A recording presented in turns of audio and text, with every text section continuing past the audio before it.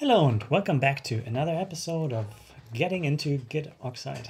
Hello and welcome back, Sidney. Hi, Sebastian. Uh, after a refreshing weekend, we can get back to our handle situation here, which we left in a strange state we were forced to create extra clones of handles, and cloning this was kind of not so obvious what it really does. And uh, you only do that to get another slot for an object buffer, which is conveniently hidden here, right? You can find an object and it just magically lives, even though a buffer in the background is located that is actually reused, which is the whole point, so that it doesn't locate buffers all the time. Um, but there was only one buffer per handle, so I had to do this. And if you wouldn't, it would not run. There would be a runtime error, and this would error out. Okay, so let's just see what the most natural version of this would be, because in theory, just one handle is enough. No handle two. And we just keep the objects that we want here alive. Object ref. This is just an object for us. It shouldn't be necessary to call it ref. Um, is there any other ref around here? There's a tree ref. So that's more like how you want to think of that. Once you have an object, you have you have the real deal and that should work ideally. That's the more natural way of writing it, and now it does work, which is an improvement that was done to this handle. So now it can handle or have any amount of object buffers for you and keeps them in a list. So when once you have the first yeah. object, it allocates this for you. And it reuses that. Sorry? Looks a lot nicer from the outside.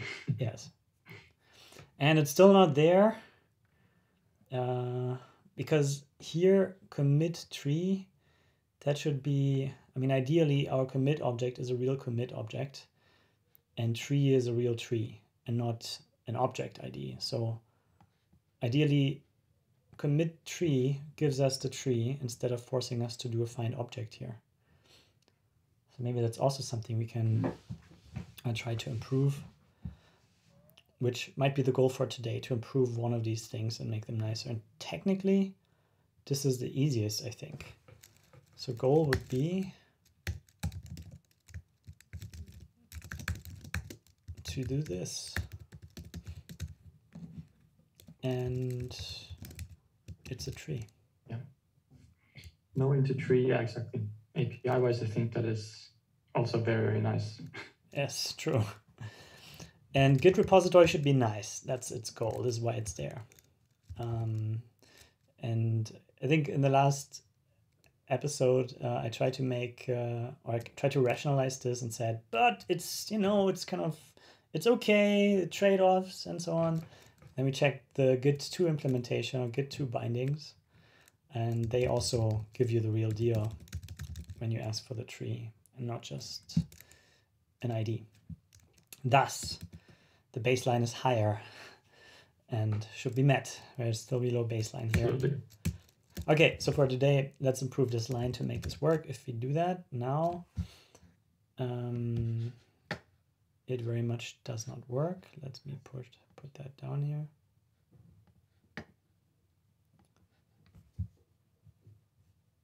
Okay, because it's still, this commit object here is not a real um, not the kind of commit object that we want. It's the commit ref, which is a low level one. Uh, let's see what the terminology is here. To tag IDA, I'm just trying to find like the status quo. Where, where do we get a tree? Try to commit. Interesting. I'm a bit blind here. Um, I here find object and then into tree. So there's an into tree somewhere. So maybe we can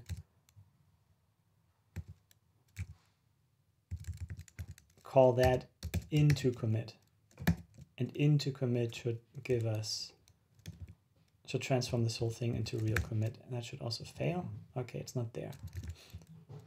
but into tree is there. Uh, I wonder where that is implemented. Why did I not find it? Into tree. Ah yeah, it's different impl blocks here. so there's one that is just for these lower level objects apparently. And there's one that is just for the higher level objects. And I guess should be easy enough to add an into commit here, transform this object into a commit or panic if it is none.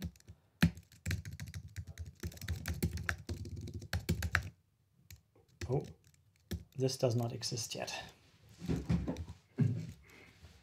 Okay, let's see the existing structure here. We are an easy, easy object tree we have. Uh, we are in the mo module here. Where's the where's the tree coming from? Is this defined somewhere down here? Start tree. Where's it coming from?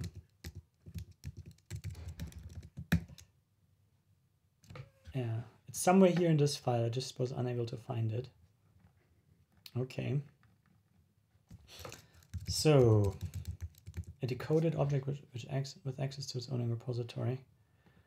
Yeah, it's a bit sad to see me do this, but it's mostly copy paste because it's really the same thing uh, mm. structurally. Decoded commit object with access. That's now called commit, the ID of the commit.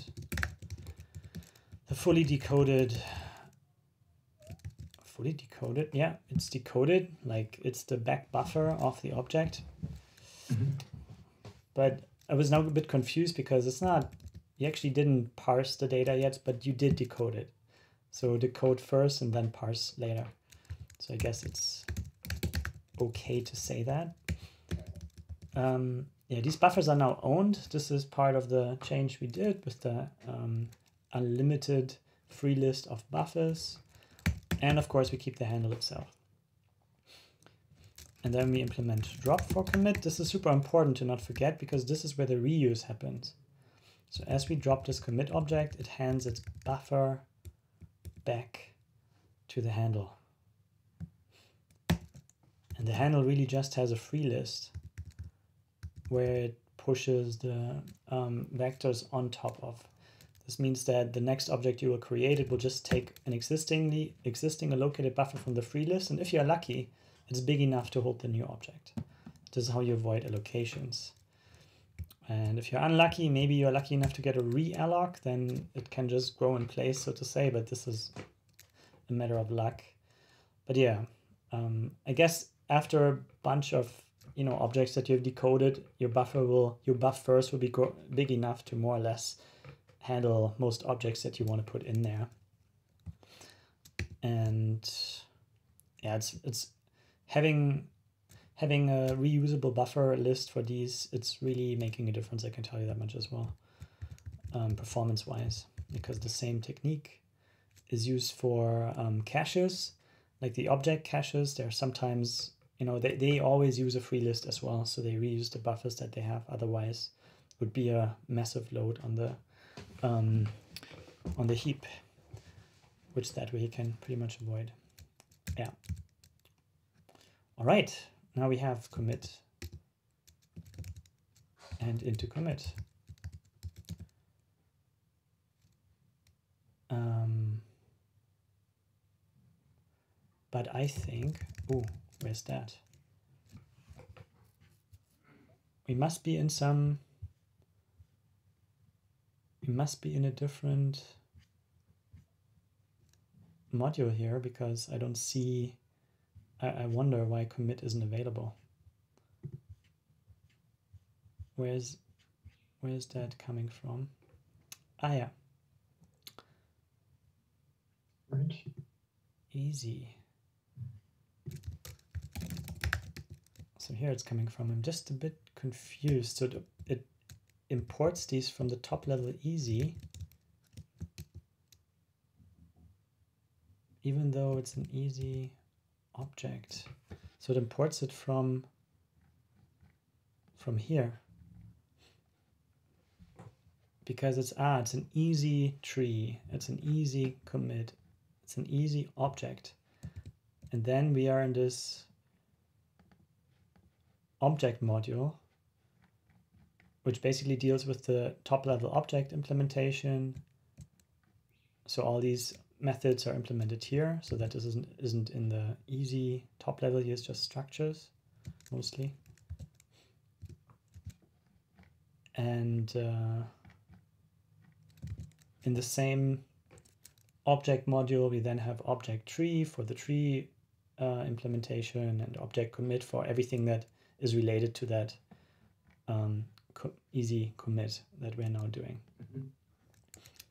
Okay, but this also, you know, this try into uh, still confuses me a little. because try into that's the official conversion trait here. So there should be some from implementation that says from commit, from object into try into commit. Try from object into commit, so to say. And we don't have mm-hmm. that yet. So this should not work. And probably this should also be commit. Panic tried to use as commit, but was another kind. Okay. Try into, here we have it.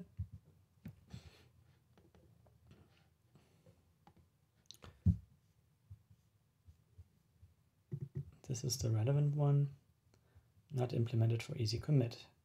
That's fair because we didn't actually implement this. So this, this is something I try to do when you have one object that converts into another, you should probably implement these from and try from traits so from commit can always, a commit can always become an object because object can represent anything that is is available.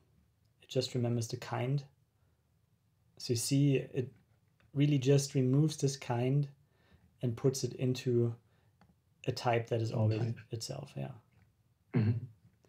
And that's all it does. And then this allows you to bring it down to the functionality that is only relevant for this kind of object here, even though it's still not parsed. So that's something that might be interesting here because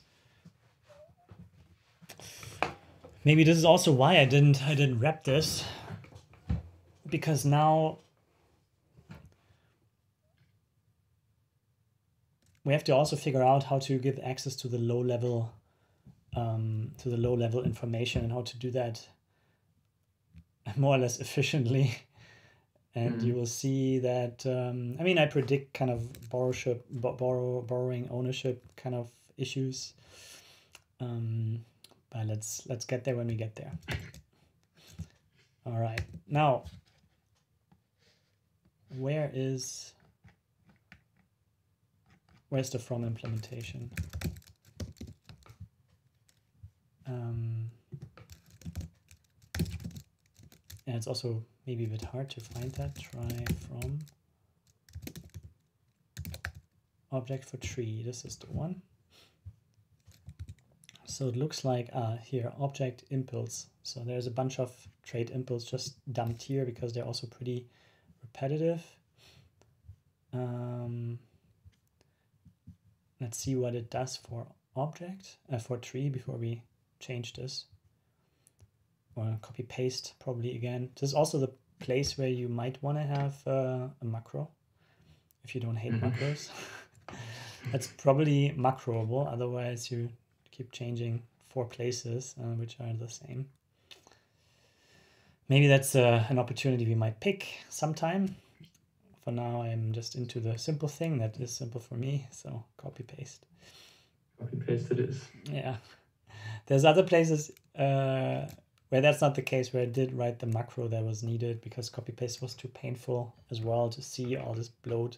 But here it still kind of seems okay-ish with a couple of lines, which are also simple, like just structural, structural change. Okay. Interesting. So that seems to be a problem uh, with the IntelliJ sense. Mhm. It's also new, I guess. Maybe a new bug introduced there. But anyway, what does it do? It keeps the, it gets the object, then it stores the handle for later.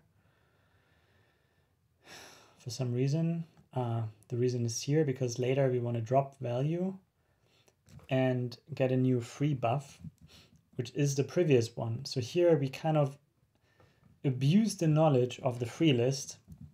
This is single threaded code, so nothing else can happen once we drop this.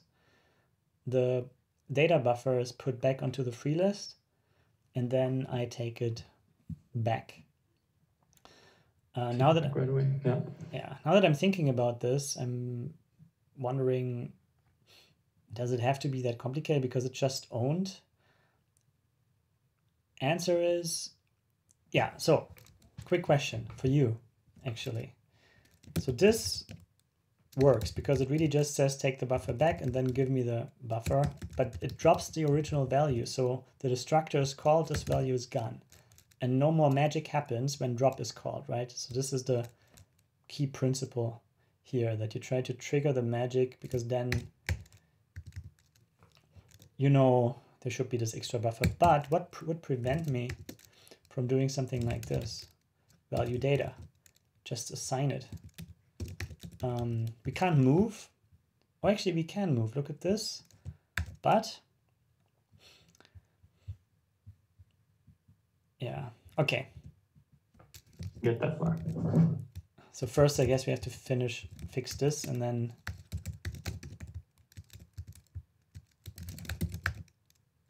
easy commit that one.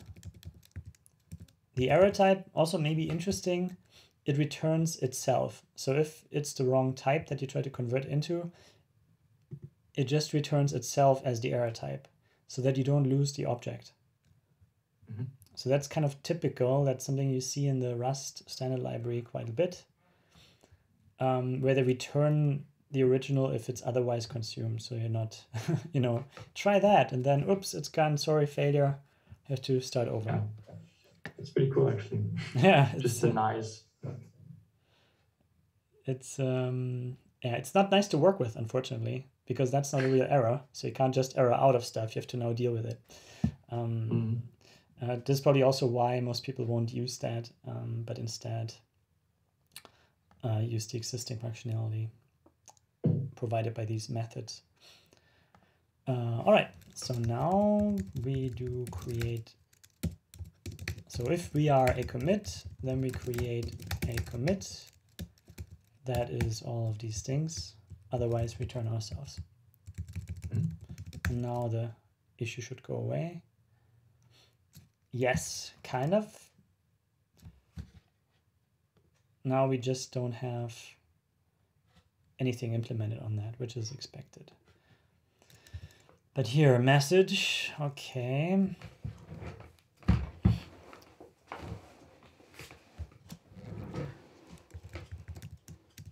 And then the tree. So maybe we can, for now, can we get rid of that? Not really. Okay still a problem. But let's see if we can try something else here. Maybe also, whoops, do it on this one, which is which allows us to revert more easily. So value data. Why can't I do this? Let me compile. Okay.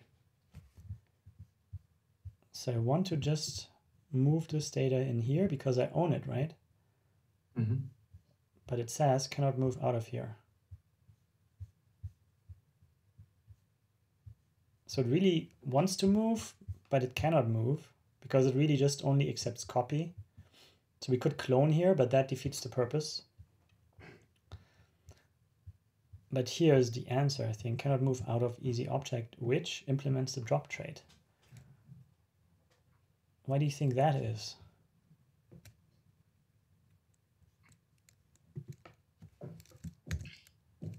I'm not sure. Is it expecting to be dropped because Yes. because of the implementation there, or Yes. Let's look at the drop implementation. This is commit, but it's the same thing. Mhm. Look at drop. In order to drop, you need to get a mutable version of yourself. Fair enough. Right. Okay. But of course, you've got the right to expect this to be full, complete, and not partially moved. Like you want the whole body, not some limbs removed. Otherwise, you wouldn't know Mhm. what you have. So makes sense. In order for this to be callable, you must not partially move stuff. That makes sense. Yeah, of course. Of course. That's, yeah. Yeah, it's interesting. It makes sense, but you don't think of it until, yeah, you actually try to use drop, and then stuff you did all Mm. the time, remove parts, uh, doesn't work anymore, and you have to think differently again. And yeah, that's Rust for you, but also it does make sense. Um, so that's probably kind of hidden away again, right? With the with the drop. I mean, yeah, you have to think a bit between the lines essentially. yeah. But yeah. I mean, the compiler at least warns you. This is the interesting part here. The other stuff might be more confusing if you read the red first. Then you wonder why I don't need copy. I always move things Yeah. out of stuff. I always do partial moves. Okay, that's this doesn't work. So this would work. Okay, now we are back to the previous error. So that did work. But what would that do? Like if you would clone here, what would happen? Because value will be dropped. Let's not forget, right? Value was moved here, and at the end of this function or Oh, method, it will Yeah. be So you create an extra buffer essentially Yes. because you clone the data before the other one is freed. So you have one extra allocation of the buffer. Yeah. Yes. So I force an allocation. I don't reuse the existing buffer. I duplicate my buffers. So each time you do this, you kind of have one buffer more on your free list, even though you never kind of had that many objects. So that's a bit of a yeah, it's a bit of a of an unnicety, I guess. Because what happens, like the previous buffer, this one will be cloned, so you get an allocation for sure, which is what you want to avoid.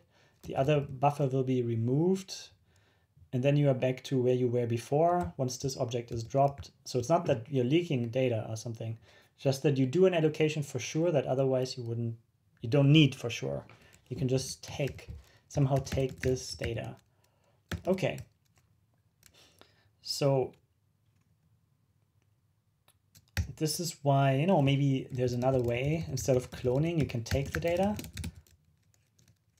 Is this uh, the right spot here? Yes. I'm a bit surprised that, that this is now claiming to be fully changed, but I think the diff algorithm now changed its... Makes sense. Now diff thinks this was three and these two things have changed and this is completely new because that is now too different. So now this should change again, huh? Or not? Okay, fine. Because I remember I didn't edit this because that was, yeah, this was fully green. Okay, now I edit this one. This is back to normal. And here we have value dot data. I could try to just replace it with the default value std mem mem take. Okay.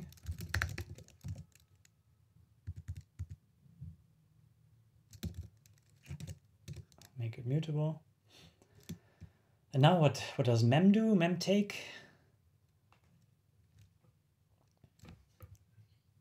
Uh, you said it kind of swaps out the data, right? It kind Yeah. of yeah it does an in place swap. Yeah, replace, swap. It does a mem replace, you can also call that function, with t being defaulted. So swap takes the data and puts the default vector and empty vector in there. And that's better because now you take the So it- existing allocation. Oh, okay. So it puts an empty back to the original data where you're taking it from and takes the yanks that out essentially and puts it into the new one. Mhm. And that okay, and that avoids an allocation because you default to an empty buffer. Yes. And then what happens? So now value is dropped and then it puts the empty buffer, which is an empty vector. It's useless. It's not even an allocation. It's doesn't have an allocation. It puts that onto the free buffer list, which makes that useless. Um, And then again, then it's there. So we have an empty useless vector there that will be allocated next time somebody uses this. So okay, yeah. We kind of have then one buffer more than we should have on the free list. So the free list then has one more. So still the same mm -hmm. problem.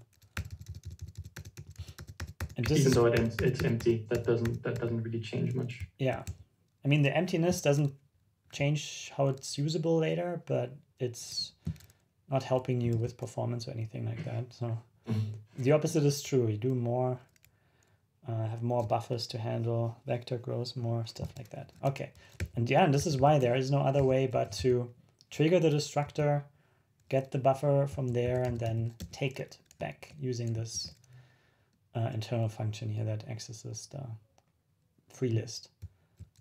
Just to be sure, as we reuse a buffer, we push it to the end, and as we take a free buffer, we pop it um, from the end. So yeah, push, pop seems to be fine. And that's that. Okay, cool. Now, two things we have to fix and then this should even work. Let's have a way to get the message and a way to get a tree. Maybe the tree first, because that seems more obvious, maybe. Mm -hmm.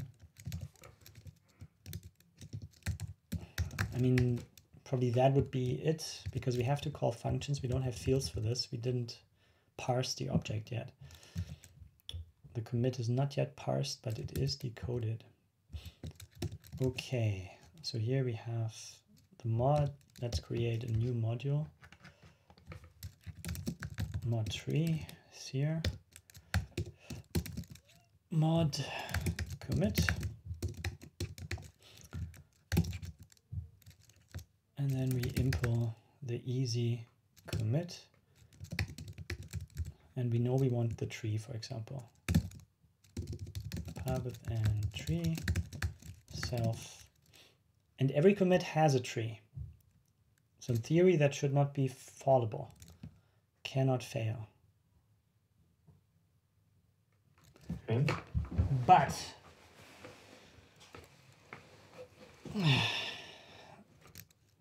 of course it can fail. So I don't know yet what to what to return here. Because all we have is data. And now we have to do something with it, right? We have to decode that data. And now, I mean, the naive way would be to say get object um, commit from decode. How's what? What's this called? Okay. Yeah, forgetting the API. There's a way to parse this. What I would expect. uh, let's see, decode. Yeah, that's the decoding itself. Where is it? From bytes. See, there is from bytes. I was wondering. Ah, it's commit ref. What was I looking at? I was looking at the owned object. Sure. We are not owning this. We are just decoding and the data itself from the buffer will be referenced. So commit ref from bytes. See? Makes sense. Self data. Okay. And that can fail. See? What do you do now? I mean, it's okay to my mind to expose this here, to expose the decode error. Also what that means is that you are decoding the whole object even though you only want one piece of it. There's no way around it anyway, right? Well, there's partial parsing. Mm -hmm. There is commit ref iter. Oh. And then let's see this these ref iters, they already have some utility functions here. I find it, that's maybe IntelliJ knows that. So there is a thing that you can use to call the tree ID. And this does what it has to do. it gets one token, ignores errors, ignores decode errors, and then gives you, uh, tries to convert that into a tree ID. Mm -hmm. So this is a parser token, and we see this can be a tree, this can be a parent, author, whatever fields are available in the commit, you get them returned one by one. So the parsing is done stepwise, and you control that with the, the iterator. Okay. So essentially, you can iterate over individual tokens, and once you have what you want, you don't have to iterate over everything. But do you have to, I mean, you're calling tree ID here. Mm -hmm. How does it know to look for the tree ID? How does it know to look for the tree ID? I mean, or do you have to handle that one level further up? Yeah, I mean, this is just the tree ID now, and now we could look mm -hmm. it up. Now we can make it, turn it into an object, which is what we want here.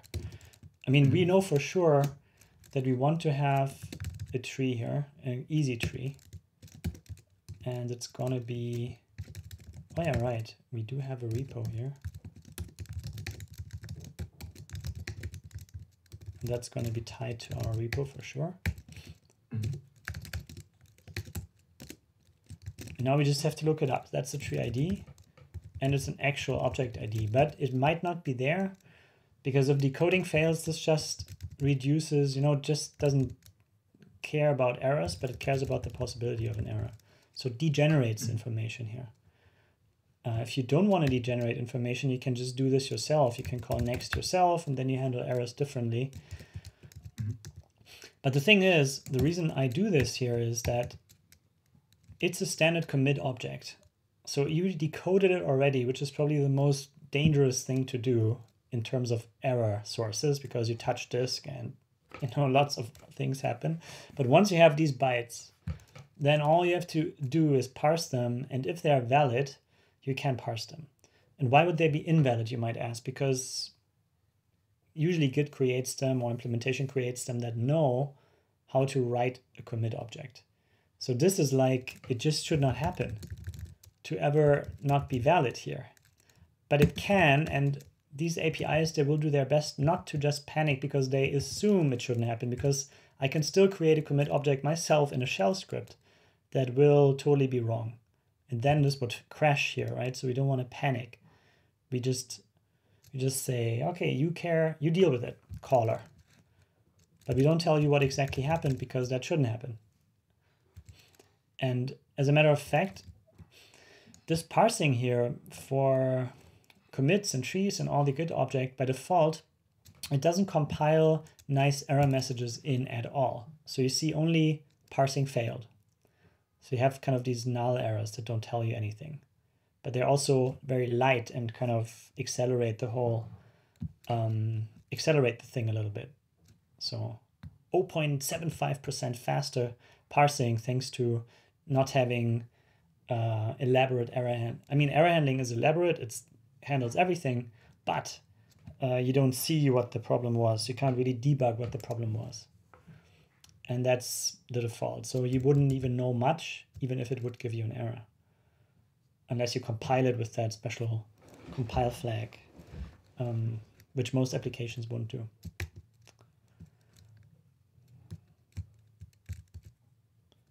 All right. Now, how do we deal with this? The fallability. Do we expose this as option here? Or do we panic? It's a tough, I, I, it's a tough thing to, it's a tough question.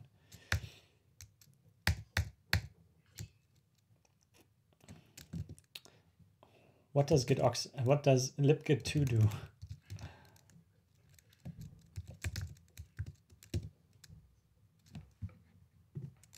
So we should have a tree method here, commit tree. And it gives you a result. Okay. Result. And it can error. Yeah, it's it's a bit hard to see. It's really just some error code. Is there some, it's an integer. Okay.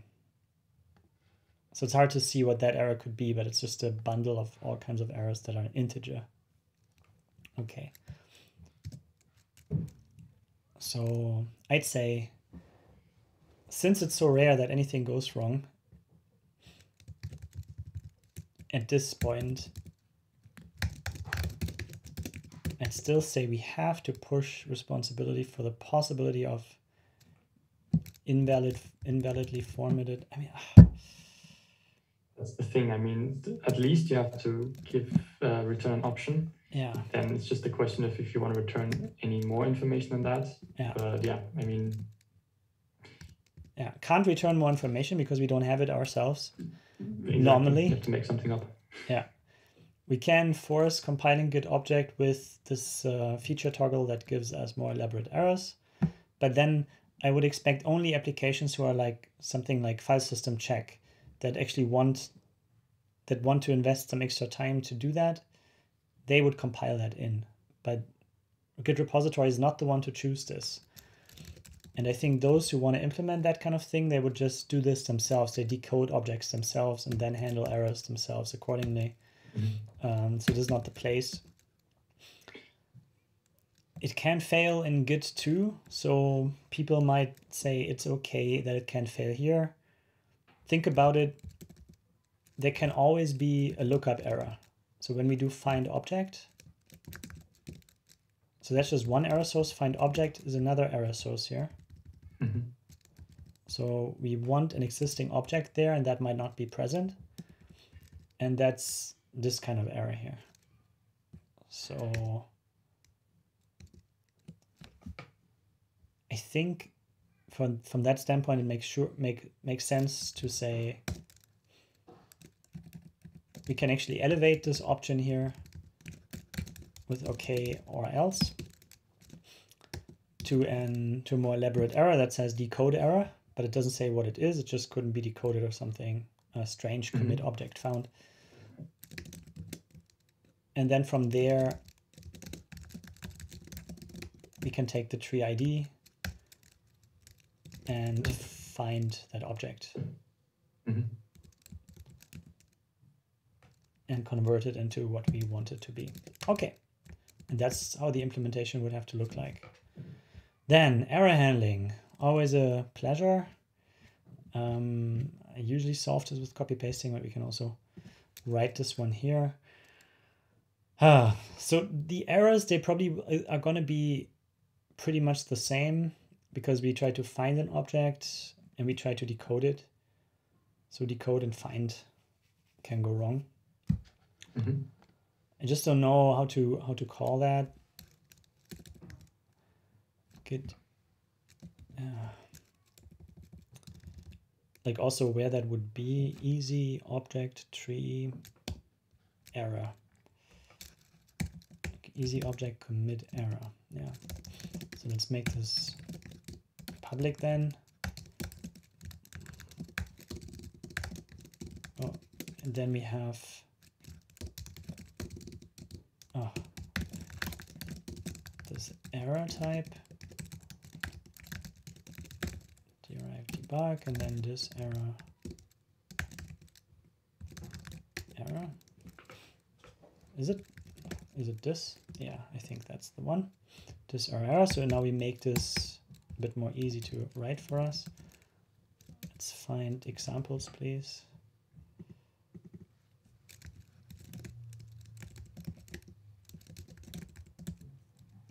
Okay. So error transparent is something I usually do because that just says this is really just a hierarchy of errors and we don't really add our own information to it. Um, and find existing object is exactly what can go wrong here. Later. And then we can have a decode error. Commit decode can fail. And that's really because we don't have information about it. We can now say the commit could not be decoded fully or partially. And now this is the display message of that particular error variant, mm -hmm. which also allows us to up upgrade this option here to pub use error. So now you see I isolate all the extra imports that might be needed. I put them into their own module so that they don't mix with what I have in my mod module above just to keep things separated. And then I publicly import this here. So now the path to this is um, easy object commit error. So there's also. Uh, hmm?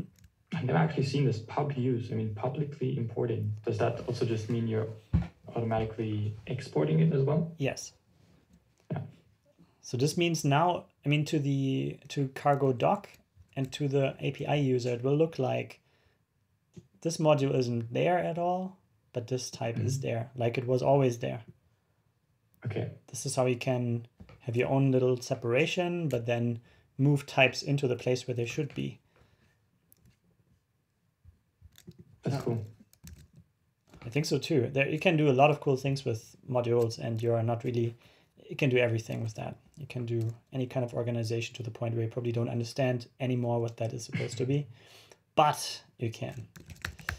Okay, so now we know better. We have a result of a tree and an error. And now here we can say error decode. Mm -hmm. Option becomes an error if it's none.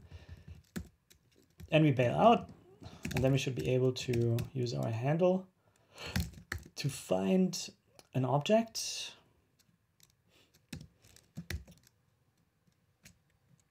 Interesting, huh? Now, now we are commit and we find our tree object. Previously, we couldn't do that really because we would need some sort of buffer that is already consumed by ourselves because we just parsed our own buffer. But now we can just say, well, we now want to have a tree too.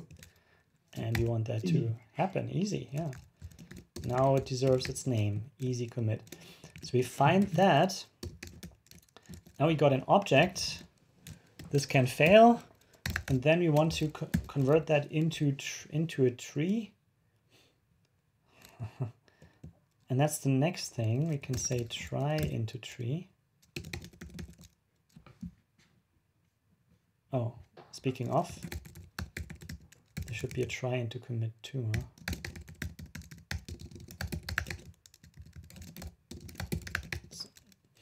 So this makes it easier to find these from or try from implementations because invoking them is not that easy.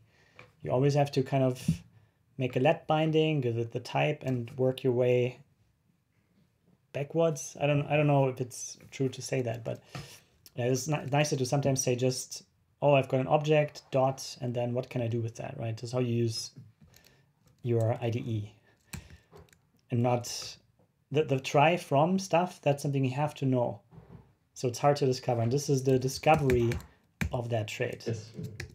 Um, that's why that even exists, because otherwise it's kind of just boilerplate.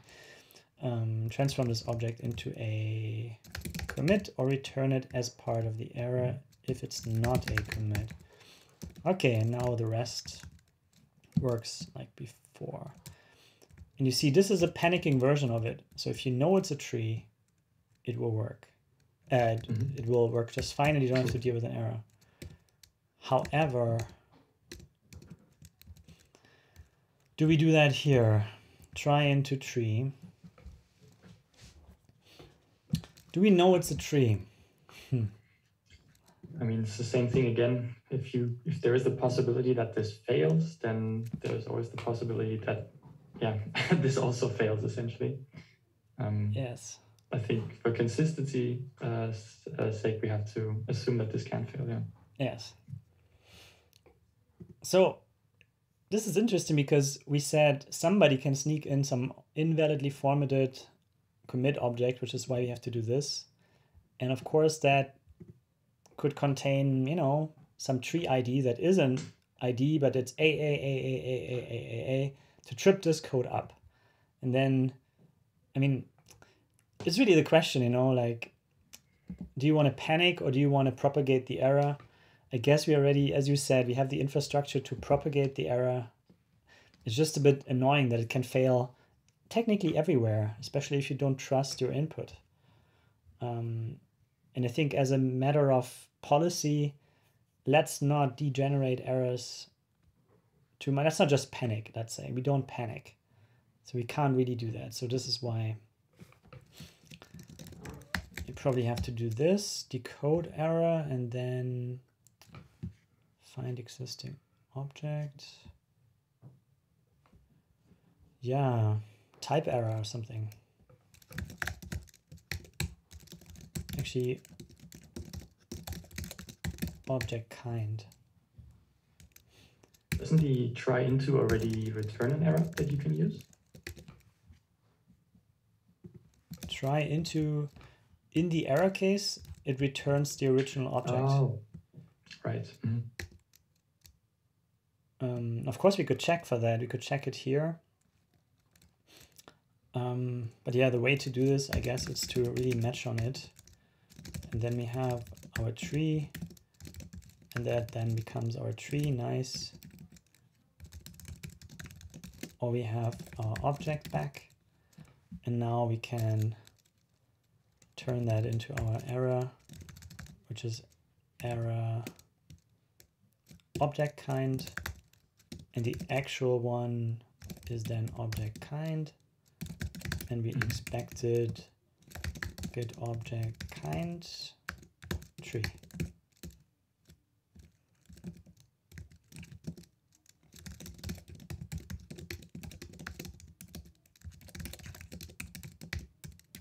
So I think I might have implemented this somewhere already. Error expected. Okay, this is how the syntax looks like if you want to format this, mm -hmm. which now we want. Expected object of type this, but but got this, and then we go with expected actual. Okay. Oh, there's a typo, I think. Oh. Uh, next to expected, uh, akuto. Uh, I still don't see it. Strange. Um, the last, the last word. You mixed up the U and the T. But God, is it here? Am I? No, no, no. Sorry, two words back in the actual. Um, expected. Dot actual. Ah, okay. Here. okay, I thought in the message somewhere. Yeah, it would of course tell us that at compile time. Um, I'm sure it would. that would be fun if it's just a runtime thing then, which would technically be possible. But yeah, these this error fortunately doesn't do that. Okay, cool. So now we have got full error handling here and full everything. And that's how, how easy it is. Now missing docs, return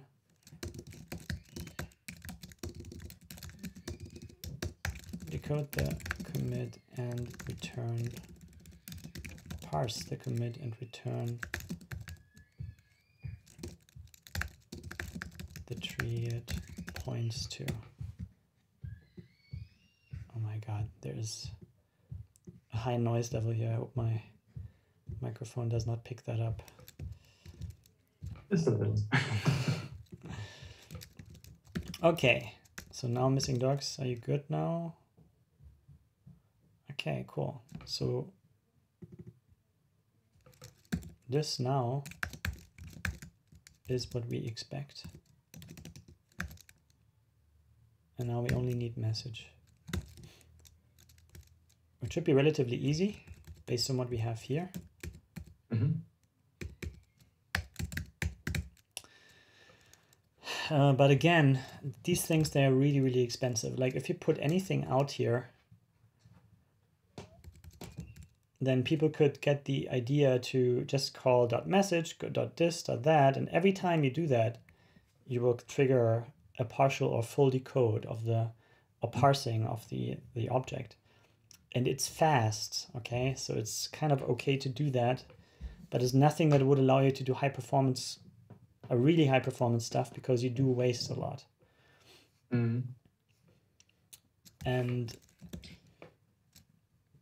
But I mean, for what we're trying to do in the example, um, there's no, there isn't really a way around this, right? I mean, you want to read the message, you have to decode to commit. So you want to find out the tree, then I mean, there's just there's yeah, I don't think there's any other way you could do it. That's true. Um, there is no other way. Unless, I mean, it's all about the API that we are happy with. Wait, what happened here? Did I? Oh, it's the same. No, we really saved that much. Okay.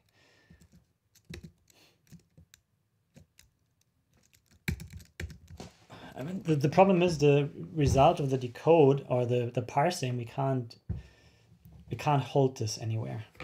Yeah. And I'd hope, you know, that we could have some sort of cache field here that says, here's our parsed object. And it's a ref cell, so we can just keep it there and it might not be there, so ref cell option. And then it's something like get object um, commit ref. We just keep the fully parsed thing this time, which also, you know, is a trade-off, I guess. We assume people will use most of the fields of the object, so we parse it fully. But now comes the problem, like what's the lifetime here? Is the lifetime repo? No. The lifetime is whatever the lifetime of data is. And isn't that repo? Because it belongs to the commit? It is not.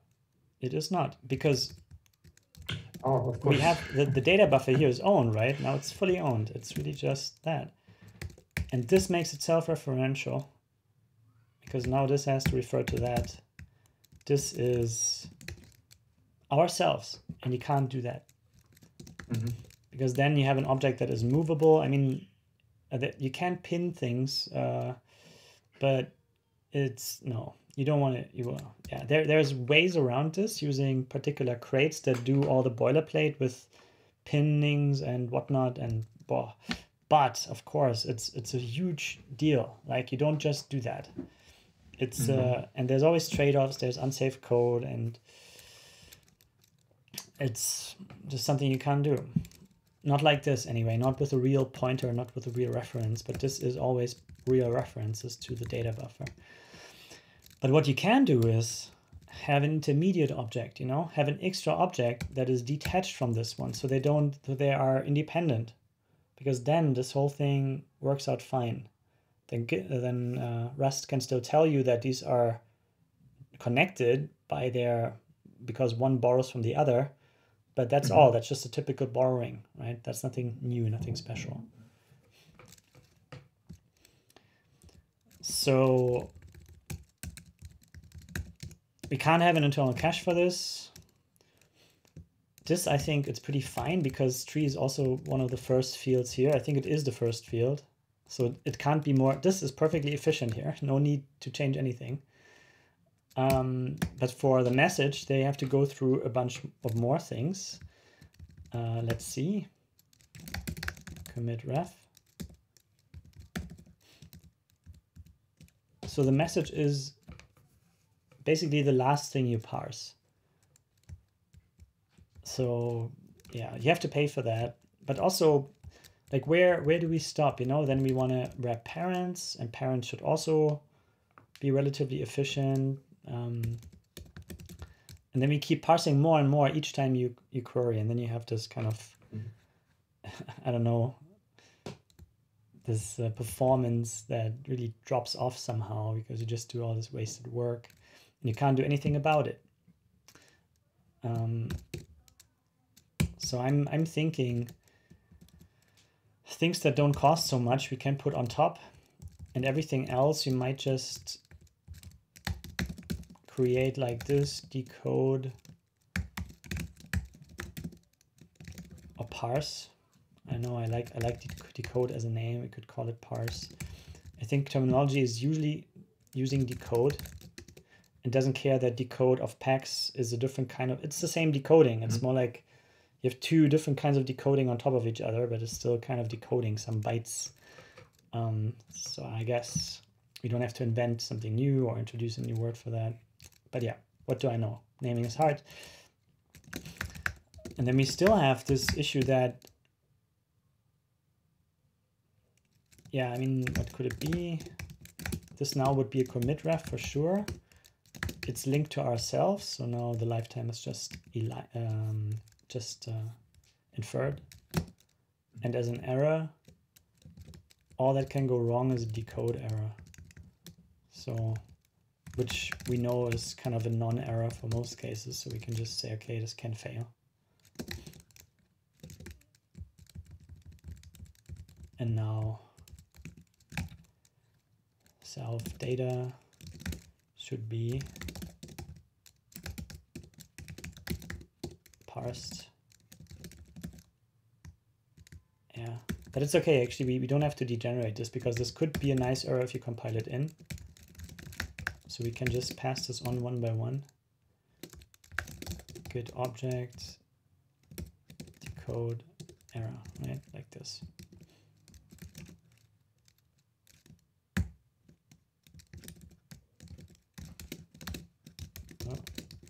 And that's all.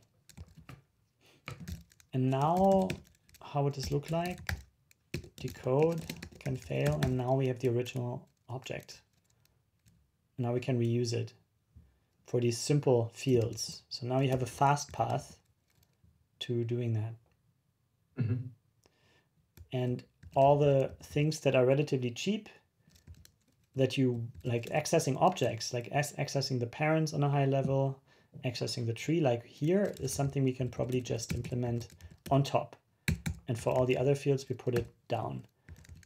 And if people don't like that because they expect message to be on top, we can easily put this on top as well, but then you pay. You, if you do a lot of access, then you pay for that, right? Exactly. Yeah, I mean, that's again something you have to know because obviously um, it's easier to just use message directly. Um, but I mean, I don't know how, how that's usually done, just putting it in the function name, kind of expensively get message or whatever, yeah. or just put it in the documentation, or just not even exposing it. Um, yeah. yeah. it's probably a policy policy thing again. Let's try to. So so this would give you high level or let's say perform high performance access, and convenient too because you just call decode here. It's the whole object Mm, it's okay. Um, yeah, I, I really have trouble imagining that you put out an API that has these performance issues um, and you know about it. So now you force people to do it properly and they just have to know if they want high level objects, they try the methods directly on the commit mm. and everything else, yeah, you don't have. Maybe, or it's added later. But then you can misuse it, right? Then probably most people will just go with the top level ones and they will run into this, they might run into this issue. I mean, but maybe that's also okay. I mean, that's usually how these things work anyway, right? I mean, you do the simplest or the most simple thing at the beginning, and then if you notice that you need something more, you start digging into the API and find out, oh, there's a high performance version. So maybe it's still this nice trade-off between, okay, it's mm. very simple to use, but if you need more, there is more stuff or more API in there that you can actually leverage. Mm. Okay, then let's go with um, both So here we say message and return a BString.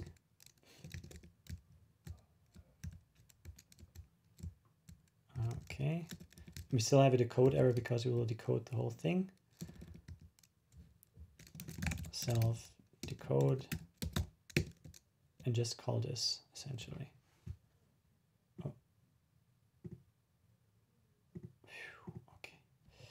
so like that.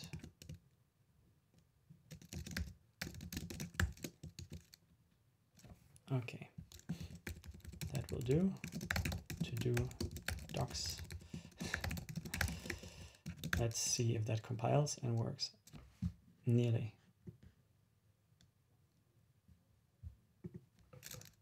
Message ref.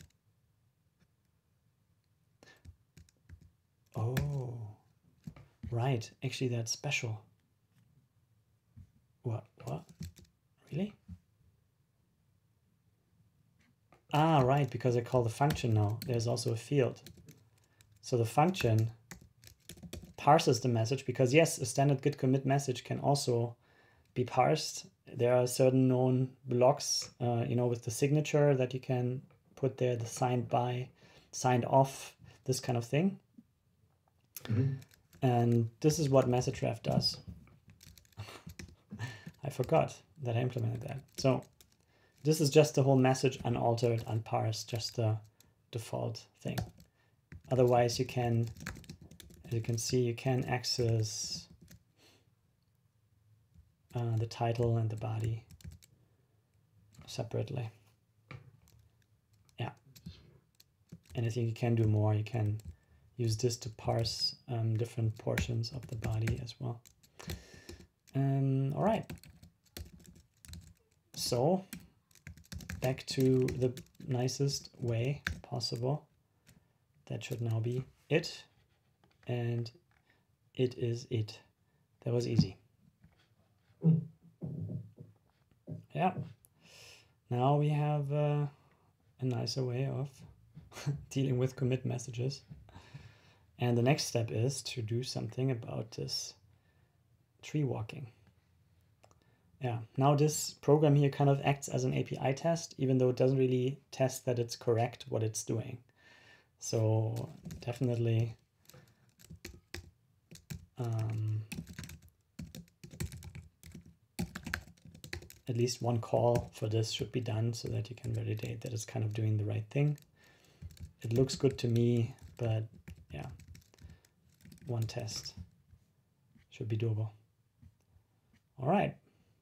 I think so too. Great improvement. Long session, about an hour. But yeah, this is how you I guess, implement Gitoxide, add new things. Uh, we didn't create the test yet, so I guess next time we will do that before we move on to anything else and then never write the test, right? So we wouldn't want that, no. cool. So uh, thanks everybody, and thanks uh, Sidney. Uh, I hope to see you again next time for the next episode. Thanks a lot. Bye. Bye bye.